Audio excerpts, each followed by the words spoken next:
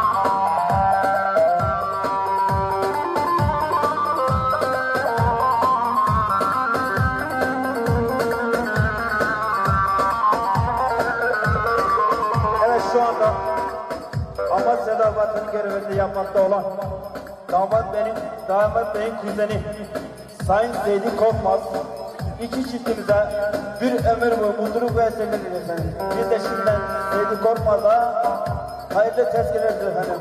Okuyacağımız tüm başlıklar kendine armağandır efendim. Haydi maşallah.